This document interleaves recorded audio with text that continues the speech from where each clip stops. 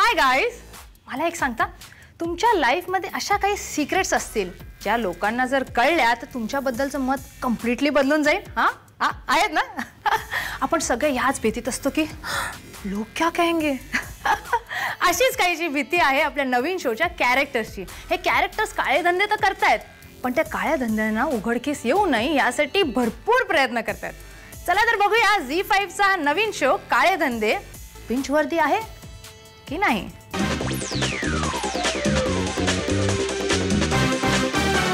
बस. मी तुम्हाला सांगते हा शो एक धमाल शो आहे. शोचा मेन लीड कॅरेक्टर विकी एक फोटोग्राफर आहे. पण तो फोटो काढताना तुम्हाला कधीच दिसत नाही. दिसतो तर काळे धंदे करताना. त्याचे काळे धंदे पकडतात त्याचे काका. आता काकांचा बदला घेण्यासाठी विकी काकांचे काळे धंदे शोधून काढतो आणि त्यांना ब्लॅकमेल करतो. या दोघांच्या भांडणात फायदा कोणाचा होतो? तिसऱ्याचा अण्णा नामक एका डॉनचा. आता हळूहळू सगळ्यांचे काळे धंदे उघडकीस येत आहेत आणि सुरू होते धमाल. पण डॉन विकीच्या पाठीका लागलाय?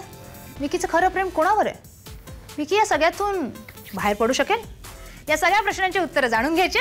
तर बघा हा शो मी आली आहे याची काहीच एक्साइटमेंट नाही आहे का तुला?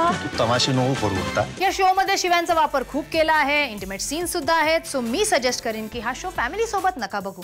एकट्यानेच काय ते काळे धंदे करा. आय मीन बघा. दहा लाखाला बांबू लावला या पोरांनी. या शो मध्ये कॉमेडीची व्हरायटी आहे. सुरुवात होते सेक्स कॉमेडीनी वळतो आपण डार्क कॉमेडीकडे आणि एंड होतो रोमॅन्टिक कॉमेडीनी परफॉर्मन्सेस दमदार. महेश मांजरेकर आपले मराठीचे डॉनच ना? सो आमचं वर्ड एक झी फाईव्हच्या नवीन शो काळ्या धंद्यासाठी आहे. बेंजवादी